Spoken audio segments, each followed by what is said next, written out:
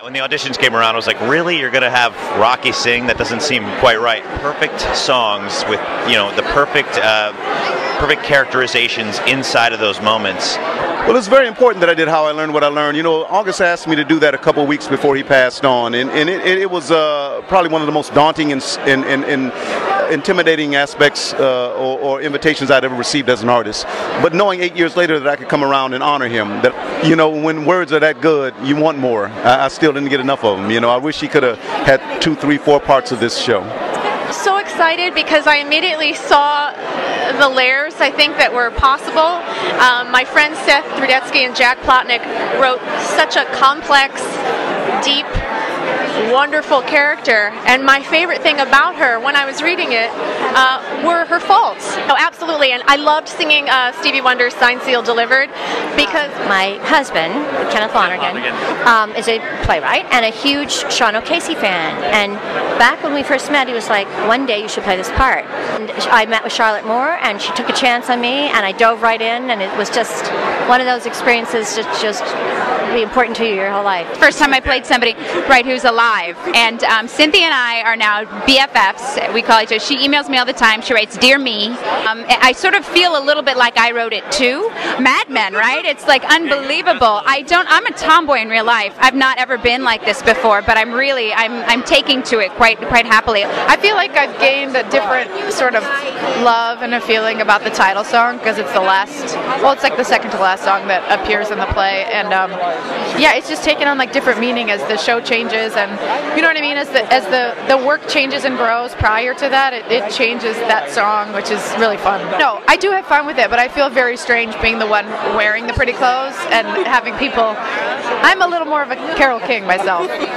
What an amazing character! What an amazing journey! Um, and here's Steven Pasquale and Jason Robert Brown, the three of you. Just want to make sure she's saying really nice things. With both of them standing here. no pressure. Uh, really, we really want to know what that. No. What is question? What, is how how meaningful? Have you started cheating on your husband? no, I have not. Not even with that. No. Warm uh, feeling I have for her that I've ever felt doing anything, and the most joyous I've ever felt singing. So it's been one gift after another. And maybe was hearing me in his head or something makes it easy. Makes it flow more freely. I mean, I'm not trying to put on a suit that doesn't fit. Been, uh, she's been my primary scene partner. We were saying last night for almost two years because we did a play before this together. So I don't know what I'm going to do, not being able to act opposite Kelli O'Hara. Who- the familiarity of it is is um, heartbreaking, and I use that every night. you can't even see through my viewfinder. My viewfinder on stage is totally black. It's like a it's like a dummy camera. But but I like it because it would distract me, so I can actually see Kelli uh, in, in my real eye. I'm letting out all of the secrets right now, but I'm not. I'm scared of Kelli. I am. I have to admit it.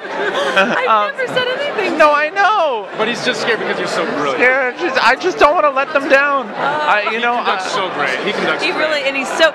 Nobody loves it more than he does. He yeah, looks like he he's really just living it. First of all, it's a great recording. It's pretty much exactly what you experience at the theater. And so to have those two people singing this score, I'm assured that the show lives on forever. I owe it all to Susan Stroman and her choreography and um, and her patience and her faith in me.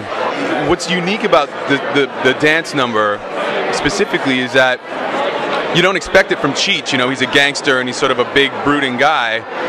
But um, if I'm doing my job, I think that I'm trying to imbue it with uh, with character. You know, we have these amazing rotating guest stars, so I, I get to go to work on Broadway. It seems like every day. You Fantasia is really special. She's very available.